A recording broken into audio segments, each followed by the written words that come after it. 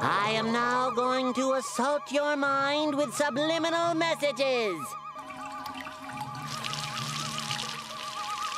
Smoke. Sorry you had to see that.